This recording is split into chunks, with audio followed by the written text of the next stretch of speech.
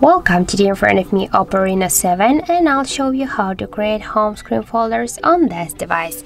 So to do that you should hold for a while the application and drag this up to another one and as can you see by this way we create the new home screen folder on our Oppo device uh, screen.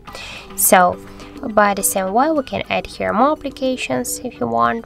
And if you're sure here we can change the name of this uh, folder as we click on this name and here enter the new uh, folder name for example.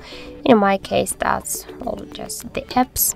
Click here to ok in the left down corner. And now as can you see we just successfully changed the name of our device folder if you want to move this folder here on the screen, you can just do this by this way, hold for a while and drag it. For example, here we can move this folder also between the screens or we just can create the new screens for this folder with this the same simple way. Just hold and drag it. So if you want to just remove the application from the folder hold for a while and drag it here to the home screen if you want to stay with this app on the home screen.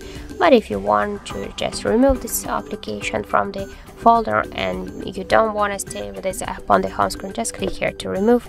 But don't worry this app will also stay here in the apps menu on your device.